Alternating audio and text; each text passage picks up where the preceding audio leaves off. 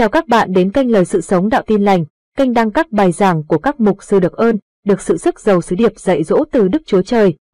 Vừa rồi chúng ta được à, biết rằng tình yêu không thể thiếu sự tương giao. Điều đó hoàn toàn chính xác. Ngày hôm nay tôi muốn chia sẻ với mọi người đề tài đấng chỉ đáp lời cầu nguyện. Đấng chỉ đáp lời cầu nguyện.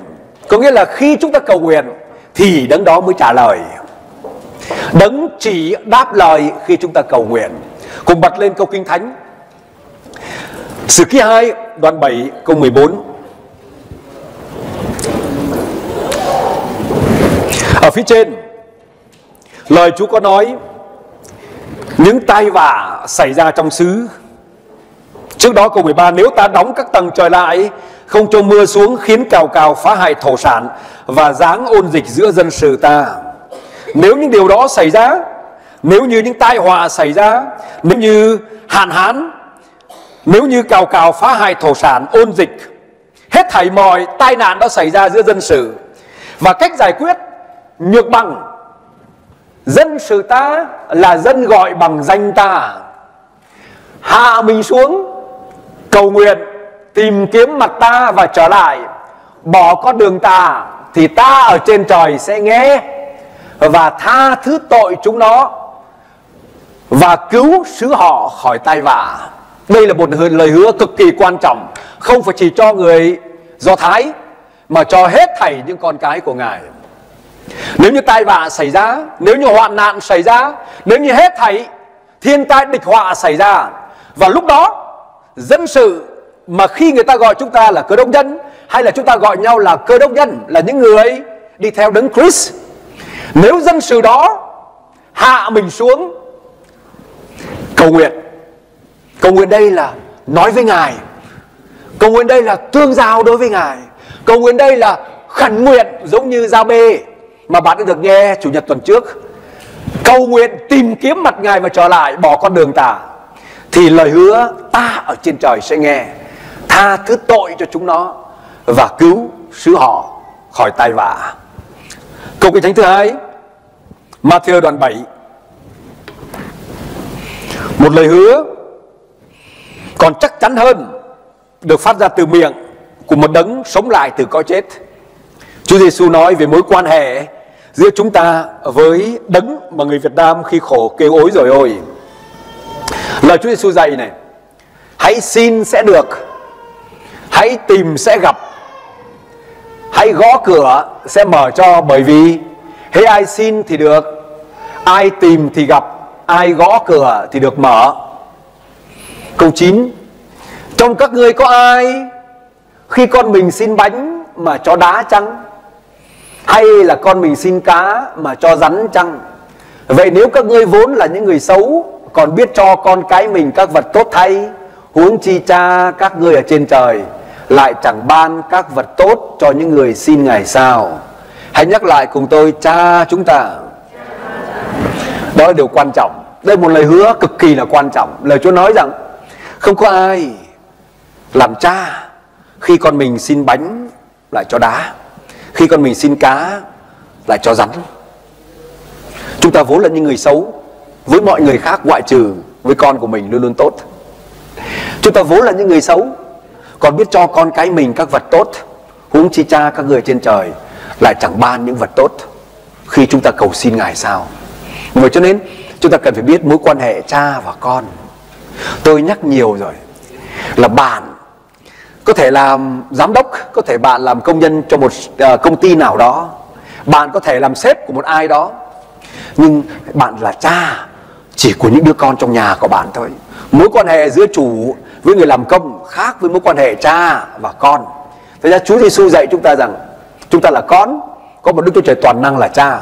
Khi chúng ta xin thì chắc chắn Ngài sẽ ban cho. Bởi vậy cho nên hãy có mối quan hệ cha con. Câu kinh thánh thứ ba, sách giang đoạn 16.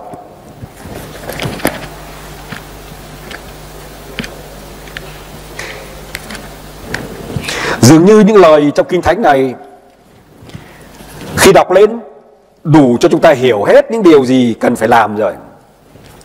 Lời Chúa không hề khó. Xin Đức Thánh Linh giúp cho chúng ta thực hiện cái điều dễ này, mà khi bởi sức của mình thì lại khó. Sách Giăng đoạn 16 câu 23 câu 24 này. Trong ngày đó, trong ngày mà Đức Thánh Linh được gửi xuống trong ngày này này, khi mà chúng ta đang ở trong thời kỳ ân điển, trong ngày đó các ngươi không còn hỏi ta điều chi nữa quả thật quả thật ta nói cùng các ngươi. Điều chi các ngươi sẽ cầu xin nơi cha thì ngài sẽ nhân danh ta mà ban cho các ngươi. Đến bây giờ các ngươi chưa từng nhân danh ta mà cầu xin điều chi hết. Hãy cầu xin đi các ngươi sẽ được. Hầu cho sự vui mừng các ngươi được trọn vẹn. Hãy nhắc lại cùng tôi từ cầu nguyện. Cầu nguyện với Đức Chúa Trời là bạn được tiếp xúc với Ngài. Lấy ví dụ, bà Thủ tướng Đức, đang làm Thủ tướng tại nước Đức này. Bạn nói về bà ta khác với bạn được nói chuyện với bà ta. Bạn đi truyền giảng cho người khác về Chúa Giêsu khác với bạn trực tiếp được nói chuyện với Ngài. Sự cầu nguyện là bạn được trực tiếp nói chuyện với Ngài. Sự cầu nguyện tương giao là bạn trực tiếp nói chuyện với Ngài và khi nói chuyện với Ngài thì đó là một đặc ân. Và Chúa Giêsu nói với chúng ta ở đây trong câu kinh thánh này, này trong ngày đó các ngươi không còn hỏi ta về điều chi nữa bởi vì Đức Thánh Linh ở trong sẽ chỉ dạy chúng ta vào mọi sự. Quả thật quả thật ta nói cùng các ngươi điều chi các ngươi sẽ cầu xin nơi cha thì ngài nhân danh ta mà ban cho các ngươi. Ở đây có một nguyên tắc mà Chúa dạy cho sự cầu nguyện. Hãy cầu xin Cha nhân danh Chúa Giêsu Christ. Tôi đến nhóm Thánh Kinh tại Troyes, tôi đến nhóm Thánh Kinh tại ờ, Paris và một số người họ nói rằng mục sư làm sao để có thể cầu nguyện Chúa nhậm lời. Tôi nói rằng hết thảy mọi điều người khác dạy không bằng lời trong Kinh Thánh dạy. Lời Kinh Thánh Chúa Giêsu nói rằng khi chúng ta cầu xin bất kỳ điều gì nhân danh Chúa Giêsu mà xin Cha thì Ngài sẽ ban cho. Bởi vậy cho nên theo đúng lời hứa của Chúa ở trong này, chúng ta hãy làm theo. Quả thật, quả thật ta nói cùng các ngươi điều chi các ngươi sẽ cầu xin nơi cha thì Ngài sẽ nhân danh ta mà ban cho các ngươi. Câu 24 Đến bây giờ các ngươi chưa từng nhân danh ta mà cầu xin điều chi hết. Hãy cầu xin đi các ngươi sẽ được. Đây là một sự Đây là một thức mệnh lệnh. Dường như Chúa đang đợi chúng ta cầu xin vậy. Chúa nói rằng hãy cầu xin đi.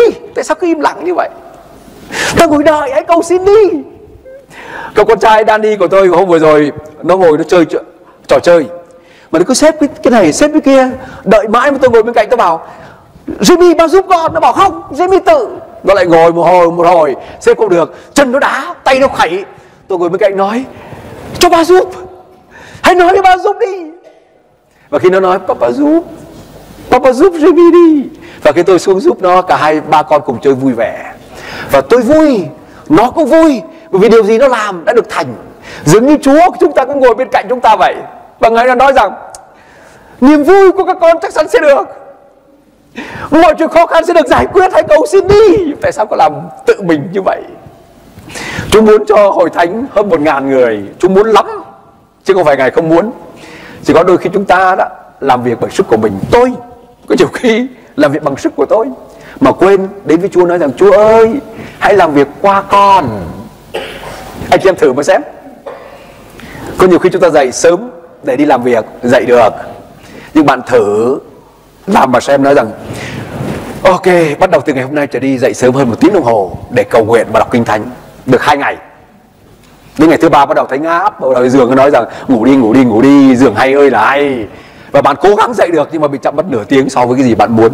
Đến ngày thứ tư, ngày thứ năm, bắt đầu bạn ngủ bị quá mất 15 phút. Ngày thứ sáu, thứ bảy bạn ngủ bệt luôn và giống trở lại như cũ. Và dường như có một điều gì đó nó phá đặc biệt khi bạn muốn đến gần Chúa Giêsu vậy vậy cho nên anh chị em ơi, lời Chúa ngày hôm nay thúc giục mỗi chúng ta hãy gạch chân dưới kinh thánh của bạn. Lời Chúa nói, hãy cầu xin đi.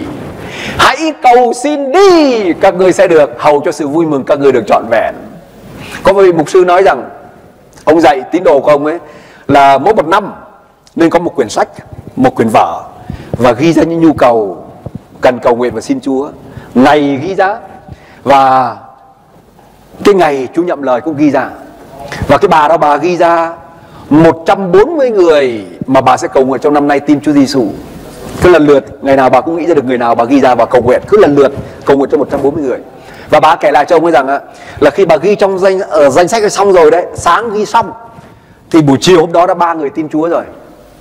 Cứ là trong danh sách 140 người đó, khi ghi xong rồi đó thì buổi sáng khi xong, buổi chiều đó có ba người trong số đó đã tin Chúa Giêsu rồi. Có nghĩa là Chúa là đấng rất nóng lòng để trả lời khi con dân của ngài cầu nguyện. Thế thì có nhiều khi bạn cầu nguyện và tôi cầu nguyện, mình quên cầu nguyện cái gì. Nhưng Chúa, ngài vẫn nhớ để trả lời. Và khi chúng ta có quyển sổ, chúng ta sẽ ghi nhật ký cầu nguyện và ghi ra những điều gì Chúa nhậm lời. Amen, anh chị em. Hãy quay sang người lân cận nói rằng, cầu xin đi. Và lời Chúa nói đây rằng hãy cầu xin đi các ngươi sẽ được. Hầu cho sự vui mừng các ngươi được trọn vẹn. Nhiều người làm cha làm mẹ khi làm một điều gì đó cho con của mình chúng nó vui một nhưng lòng của bạn vui mười. Và dường như cha chúng ta trên trời cũng rất là muốn làm một điều gì đó cho chúng ta để chúng ta được vui và ngài cũng vui nữa. Amen. Tôi uh, muốn đọc cho anh chị em cái uh, nghiên cứu sách công vụ lời cầu nguyện được Chúa nhậm lời chúng ta để ước ao hội thánh có đông người tới tin Chúa Giêsu amen. Chúng ta tin rằng chúng ta ước ao sự đổ thần của ngài tại đây. Xin Đức Thánh Linh ngài làm việc cùng với chúng ta. Có nhiều khi chỉ cần nói một lời hãy yêu thương nhau. Và nếu Chúa đứng tại đây ngài thực hiện điều đó rồi. Ngày hôm qua tôi đến thăm nhóm tế bào của uh, gia đình Thủy Huy. Nhắc lại lời cầu nguyện của Gia Bê. Tôi nói rằng anh chị em ạ à, sự khác biệt giữa Gia Bê cầu nguyện và Chúa bèn đáp lời y như người cầu nguyện với một số người khác bắt chiếc y chang lời cầu nguyện này mà Chúa không hề nhậm lời. Nó khác biệt ở chỗ nào? Chúng ta nhìn vào bản chất của Gia Bê là trước khi ông ta khấn nguyện điều này ông ta đã có mối quan hệ với ngài rồi. Mọi người hiểu không?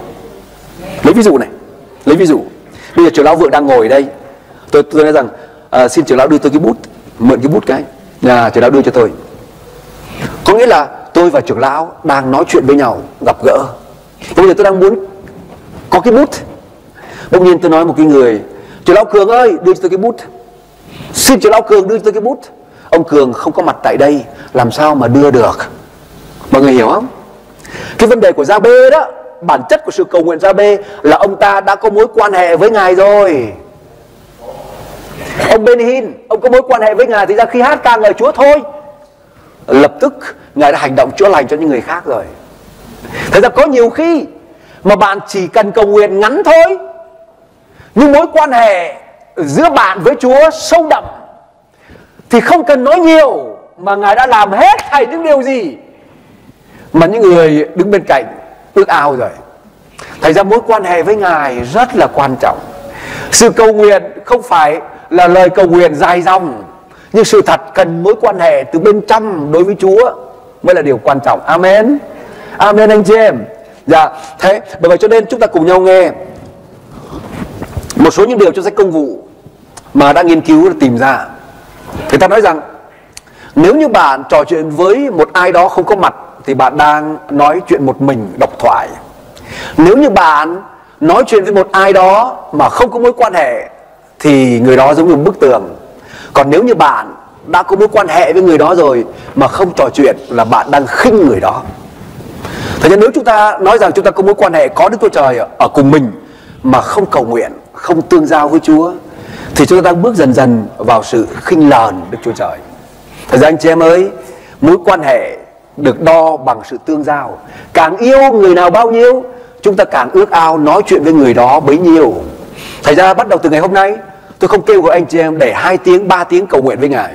Nhưng dần dần bước vào mối quan hệ với Chúa. Có thể đầu tiên là 5 phút đi, sau đó 10 phút đi, càng gặp gỡ Chúa bao nhiêu, càng hiểu biết Chúa bao nhiêu, bạn càng yêu Chúa nhiều bấy nhiêu, yêu Chúa nhiều bao nhiêu, bạn lại càng muốn gần Chúa bấy nhiêu. Và khi bạn gần Chúa bao nhiêu, lời cầu nguyện của bạn xin chắc chắn Chúa nhậm lời. Trong sách công vụ, tôi muốn đọc cho mọi người nghe này. Một, chúng ta nhìn thấy về sự đổ thần vào ngày lễ ngũ tuần. Công vụ đoạn 1 nói rằng, hết thảy những người đó bền lòng đồng một ý mà cầu nguyện với các người đàn bà và đến ngày lễ ngũ tuần, môn đồ nhóm tại một chỗ thình lình có tiếng từ trời đến như tiếng gió thổi ào ào. Đầy khắp nhà môn đồ ngồi, các môn đồ thấy lưỡi rời rạc từng cái một như lưỡi bằng lửa hiện ra. Đầu trên mỗi người trong bọn mình, hết thảy đều được đầy giấy đức thánh linh. Khởi sự nói các thứ tiếng khác, theo như đức thánh linh cho mình nói. Thật ra khi họ bền lòng, đồng một ý mà cầu nguyện, xin chúa cho chúng ta có những cái buổi nhóm này thứ ba, đồng một lòng, đồng một ý, bền lòng cầu nguyện thần Chúa sẽ đổ xuống, giống như ngày lễ ngũ tuần vậy. Một ý thứ hai trong sách công vụ đoạn 4 khi đã cầu nguyện thì nơi nhóm lại rúng động, ai nấy đều được đầy dẫy đức tinh linh, giảng đạo đức chúa trời cách giản dĩ và người tin theo đông lắm cứ một lòng một ý cùng nhau. Công vụ đoạn 4 có nói rằng khi đã cầu nguyện, thấy ra chúa dường như ngồi chờ đợi chúng ta, chỉ khi miệng chúng ta mở miệng xin ngài thì đấng đó đáp lời khi đã cầu nguyện, thì chúa ngài nhậm lời, người tin chúa thật là đông, cứ một lòng một ý cùng nhau. Điều thứ ba, đạo chúa lan ra. Khi các sứ đồ gặp một nan đề, rất nhiều người đang cãi nhau về đồ ăn. Họ cần có người chăm sóc những người đàn bà đó. Các sứ đồ nói, chúng ta sẽ cứ chuyên lo về cầu nguyện và chức vụ giảng đạo. Và khi họ chuyên lo về sự cầu nguyện, thì đạo đức chúa trời càng ngày càng tràn ra tại berlin. Số môn đồ tại thành phố berlin thêm nhiều lắm. Cũng có nhiều người quyền chức thầy tế lễ vâng theo đạo nữa. Chúng ta xin chúa cho những điều xảy ra trong sách công vụ xảy ra tại berlin. Nếu như hết thảy chúng ta lo vào sự cầu nguyện, chúng ta tìm kiếm chúa, chắc chắn chúa ngài sẽ làm. Và bây giờ có một số người bắt bớ đạo chúa bị bắt phục này. Ê tiên là một chấp sự. Sau khi giảng tin lành, bị người ta kéo người ra ngoài thành rồi ném đá người các kẻ làm chứng lấy áo sống mình để dưới chân một người trẻ tuổi tên là Sao Lơ sau này là Phaolô đấy. Có nghĩa là Sao Lơ trẻ tuổi đã đứng ôm quần áo cho những người ném đá ê tiên là những người à, là người tin Chúa. Sao Lơ đứng chứng kiến. Chúng ném đá thì ê tiên cầu nguyện mà rằng, lạy Chúa Giêsu xin hãy tiếp linh hồn tôi. Đoạn người quỳ xuống kêu lớn tiếng rằng, lạy Chúa, xin đừng đổ tội này cho họ. Người vừa nói rồi thì ngủ lời cầu nguyện này Chúa đã nhậm lời để chỉ sau đó ít ngày Sao lơ đang trên đường tới thành Đa Mách Thình lình có ánh sáng từ trời soi sáng xung quanh người. Người té xuống đất và nghe có tiếng phán cùng mình rằng Hỡi sao lơ, sao lơ, sao người bắt bớ ta? Mọi người để ý không? Trước đó Ê Tiên bị ném đá. Và sao lơ đứng chứng kiến Ê Tiên ném đá. Và Ê Tiên đã cầu nguyện xin Chúa Đừng đổ tội cho những con người ném đá này Và trong đó có cả sao lơ nữa. Và sau lơ là người trùm sỏ trong vụ án đó. Và khi sau này ông ta đi bắt bớ những người khác Thì Chúa đã đi theo ông Và đã bắt phục ông ta trên đường. Sự cầu nguyện rất là quan trọng. Tiếp theo, Khi sau lơ đang ở nhà chờ đợi thì Chúa phán với một người để tới gặp Phaolô. Chúa phán rằng, hãy trở dậy, đi lên đường gọi là đường ngay thẳng, tìm tên Sao Lơ người Tạt Sơ ở nhà Juda, vì người đang cầu nguyện. Sự cầu nguyện của Sao Lơ Chúa đã nhậm lời.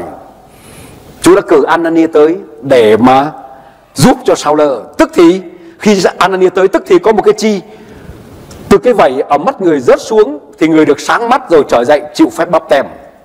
Kết quả của sự cầu nguyện, một người chống đối đạo Chúa, kẻ bắt bớ đạo Chúa đã bị bắt phục rồi sự cầu nguyện khiến người chết sống lại này. Có một người phụ nữ bị chết tên là Tabitha. Đã chết rồi, người ta ờ, các môn đồ chạy tới gọi Phêrô tới. Phêrô biểu người ra ngoài hết, rồi quỳ gối mà cầu nguyện. Đoạn xây lại với xác mà rằng, hỡi Tabitha, hãy trở dậy. Người mở mắt thấy Phêrô bèn ngồi dậy liền. Sự cầu nguyện đã khiến kẻ chết sống lại rất nhiều những thứ, những điều mà tôi đang liệt kê ở đây. Ví dụ như cọt đây cũng là một người cầu nguyện đức chúa trời luôn không thôi. Chúa đã nhậm lời cầu nguyện của cọt đây và đưa ông ta ta và cả nhà được cứu. Một câu chuyện khác, trong khi các sứ đồ bị bắt Phêrô cũng bị bắt ở trong ngục, hội thánh cầu nguyện cho ông luôn luôn và Chúa đã sai thiên sứ của ngài tới trong ngục và giải phóng Phêrô Chúa đã đánh chết Herod và khi thánh chép rằng đạo Đức Chúa Trời lan khắp cả thành. Anh chị em ơi, ngày hôm nay tôi muốn chia sẻ với anh chị em rằng, đấng sống, ngài luôn chờ đợi khi tôi và bạn cầu nguyện. Xin chúa cho chúng ta bắt đầu bước vào, tiếp tục bước vào, tiếp tục ở trong sự cầu nguyện đó. Amen. Amen. Nào mời anh chị em đứng dậy nào. Quay trở lại sách giang đoạn 16 câu 23 câu 24 Bật lại trên màn hình.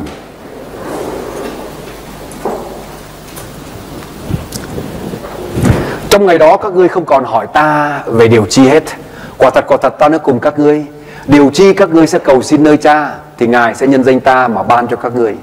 Đến bây giờ các ngươi chưa từng nhân danh ta mà cầu xin điều chi hết. Hãy cầu xin đi, các ngươi sẽ được hầu cho sự vui mừng các ngươi được trọn vẹn. Đến bây giờ các ngươi chưa từng nhân danh ta mà cầu xin điều chi hết. Hãy cầu xin đi, các ngươi sẽ được hầu cho sự vui mừng các ngươi được trọn vẹn. Trước khi chúng ta dự tiệc thánh, tôi muốn mỗi chúng ta cùng nhau đến với Chúa. Bạn hãy suy nghĩ một điều quan trọng trong đời sống của bạn. Dựa trên lời cầu nguyện của Gia Bê, chủ nhật vừa rồi, cầu nguyện cho chính bạn. Lời Chúa nói, hãy cầu xin đi. Có thể bạn cầu nguyện cho cá nhân của bạn, có thể bạn cầu nguyện cho gia đình của bạn, có thể bạn cầu nguyện cho hội thánh của Chúa tại đây. Nhưng chúng ta để ít phút cầu nguyện cho điều đó. Và sau đó chúng ta cùng nhau dự tiệc thánh. Hãy đi với Chúa cầu nguyện Hallelujah. Chúa ơi, cho con cảm ơn Ngài. Chúa ơi, cho con cảm ơn Ngài. Cảm ơn Chúa vì lời của Chúa. Lời Chúa nói rằng, Và dân sự gọi bằng danh ta. Hạ mình xuống, Tìm kiếm mặt ta bỏ con đường ta cầu nguyện. Khi dân sự hạ mình xuống cầu nguyện, Tìm kiếm mặt Ngài bỏ con đường ta, Thì Chúa trên trời Chắc chắn nghe lời cầu nguyện của chúng con. Ngài tha thứ tội cho chúng con Và cứu cứu cho con khỏi mọi tai vạ. Ô chúng con cảm ơn Chúa. Hallelujah. Hallelujah. Hallelujah. Chúng con cảm ơn Ngài. Cảm ơn Ngài. Và lời Chúa nói với chúng con ngày hôm nay, Khi chúng con cầu xin nhân danh Chúa Giêsu Xin cha chúng con, Chắc chắn Ngài nhậm lời cầu nguyện chúng con Và Chúa thúc giục chúng con, Hãy cầu xin đi. Hãy cầu xin đi Để các ngươi được nhận điều ta ban cho, Để niềm vui các ngươi được trọn vẹn. Chúng con cảm ơn Chúa, Vì Ngài là đấng nhậm lời cầu nguyện chúng con. Ngài chỉ đợi chúng con cầu nguyện, Và Ngài nhậm lời. Ngài chỉ đợi chúng con cầu nguyện để Ngài nhậm lời. Chúng con cảm tạ Chúa. Hallelujah. Chúa ơi, ai đó tại đây cần sự chữa lành. Ai đó tại đây cần chuyện giấy tờ. Ai đó tại đây cần công an việc làm. Ai đó tại đây cần chuyện gia đình hàn gắn. Ai đó tại đây cần sức khỏe hơn. Ai đó tại đây cần niềm vui thay vào sự buồn bực. Ai đó tại đây cần một người vợ, cần một người chồng. Ai đó tại đây cần sự phục hồi. Chúa ơi Hết thảy mỗi chúng con cần Ngài. Tôi muốn nói rằng Ngoài Ngài ra Chúng con không làm được gì hết. Chúng con cảm ơn Chúa. Chúng con cảm ơn Chúa. Chúng con cảm ơn Chúa. Hallelujah. Cảm ơn Ngài. Quý thính giả xem nhớ đăng ký kênh, Nhấn rung chuông Và chia sẻ video được lan rộng trên mạng cộng đồng Xin Thánh Linh động chạm anh chị em được biến đổi mỗi ngày càng giống Chúa hơn Hẹn anh chị em video tiếp theo. Chúa yêu hết thảy anh chị em.